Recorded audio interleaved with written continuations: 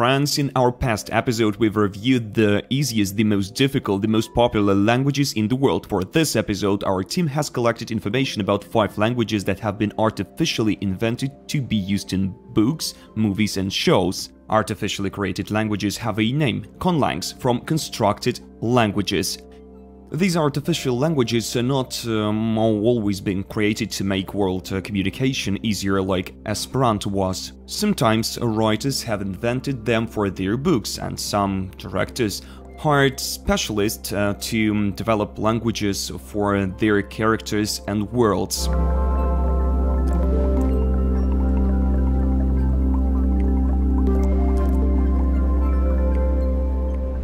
Elvish language, John Ronald Reuel Tolkien. This constructed language was created by the writer for his fantasy work, particularly the Legendarium of Middle-earth. The term Elvish refers to several different languages spoken by the elves in Tolkien's mythical universe. Tolkien developed two main Elvish languages, Quenya and Sindarin. Quenya is described as the language of High Elves, while Sindarin is considered the language language of Elves of Beleriand. Both languages have complex grammar and a vocabulary influenced by real languages such as Finnish, Welsh and Old English. Quenya has a melodic and archaic sound with a more rigid grammatical structure, reminding that of the ancient and classical languages.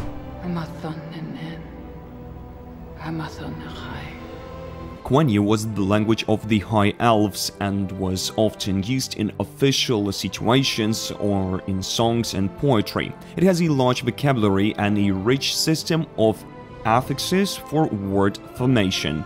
Sindarin, on the other hand, is considered a more natural and a developing language reflecting the changes that had occurred as um, elves had migrated and adapted to different uh, regions. It has a softer and more colloquial sound compared to Quenya. Sindarin had been widespread in Middle-earth and uh, became the language of elves in the Third Age. Tolkien created detailed grammatical rules, uh, pronunciation guides, and um, writing systems for both Quenya and Sindarin. He even created the language's uh, evolution uh, history with different stages and dialects, similar to how real-world languages develop over time. Elvish languages have become popular outside of uh, Tolkien's books. Many fans and enthusiasts have expanded and uh, developed uh, the languages um, even further, creating dictionaries, grammars, and even colloquial phrases. Although Elvish languages are fictional, they've strongly influenced the fantasy genre and have inspired the creation of other constructed uh, languages in literature, movies and games. The Dothraki language, David Joshua Peterson, Game of Thrones. The show producers had uh, David uh, create a full-blown language of the Dothraki culture, with vocabulary, grammar, pronunciation and the cultural context. He created the language from scratch, drawing inspiration from the descriptions of the book's author George Martin, Dothraki culture and lifestyle, Dothraki language has a um, unique and distinct guttural um, deep uh, sound and peculiar phonetic patterns.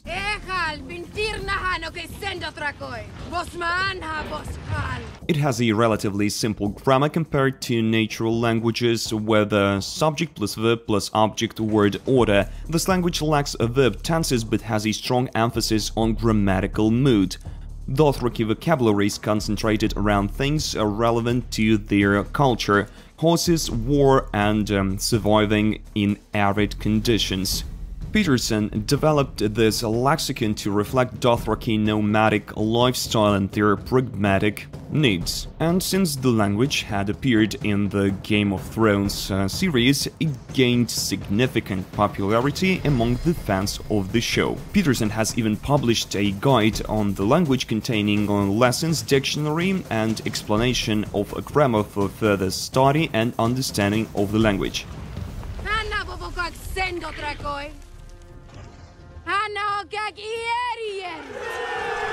The Klingon language, Marc Okrand's Star Trek. This is a constructed language created by the linguist Marc Okrand for the Star Trek franchise. the language spoken by a fictional alien race called the Klingons, known for their warrior culture and appearances in various Star Trek TV series, movies, and novels. Unlike uh, many other languages uh, created for the screen, Klingon has a detailed uh, grammar, syntax, and vocabulary, and a regulatory body. Yes, the Klingon Language Institute. It publishes translations of classic literature to Klingon language. Klingon vocabularies mainly revolves around military terminology, notions of honor and battle, reflecting the Klingon culture as portrayed in the Star Trek universe.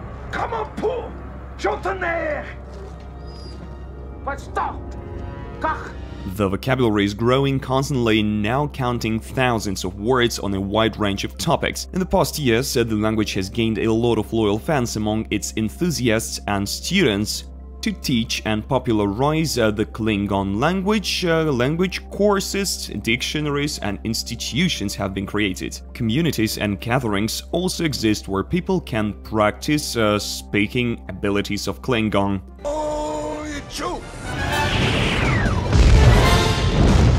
Na'vi, Paul Frommer Avatar. Na'vi is a constructed language created by linguist Paul Frommer for the 2009's Avatar created by James Cameron. It is spoken by the Na'vi alien race native to the fictional planet Pandora. Paul Frommer created uh, the language to give uh, authenticity and depth to the culture and aid immersion in the film. He developed it in a way to be completely functional, way to express oneself and communicate, augmented with grammar, vocabulary, pronunciation and cultural context. Na'vi is known for its uh, harmonious and melodic sound inspired by phonetics of real languages, such as Polynesian, Indonesian and several Native American American languages. It has a relatively simple grammar with a subject plus object plus verb word order. Na'vi's vocabulary is big and reflects uh, their life's uh, closeness to the nature and their um, deep spiritual beliefs.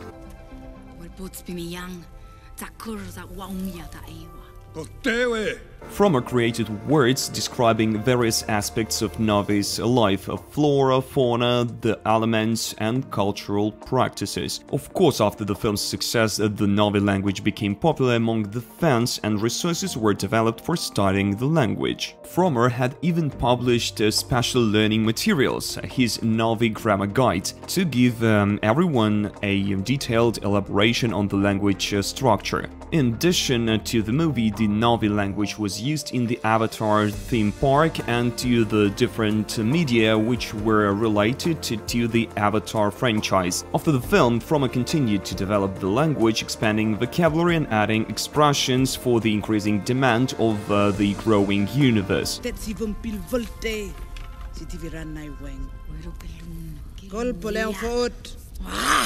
The divine language, Luc Besson, the fifth element. This language was also developed for the movie and plays significant role in the story. In the movie, the language is portrayed as um, mysterious, ancient, and possessing great power. It is spoken by an alien girl named Leeloo, who is um, supposed to be the fifth element, the key to saving humanity from great evil.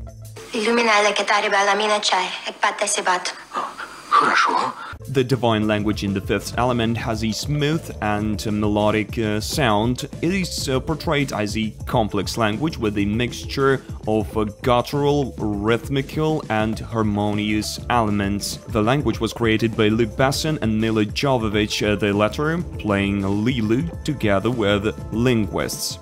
The divine language in the movie has its own uh, grammar, vocabulary, and pronunciation. Leeloo uses it to communicate and to manifest her extraordinary powers throughout the story. This language was developed to um, evoke a sense of mysteriousness, beauty and otherworldliness.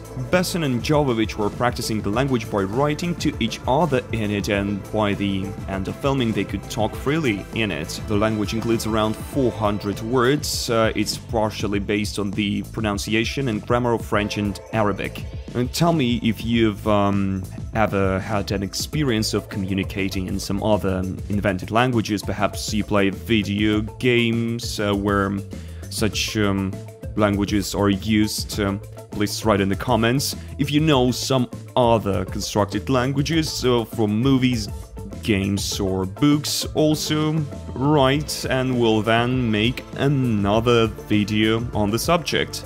Don't forget to visit our website maps.com where you can choose yourself a school abroad and um, learn any real uninvented, although they are all invented, aren't they? The point is, you can learn any language in any part of the world. See you in the next videos.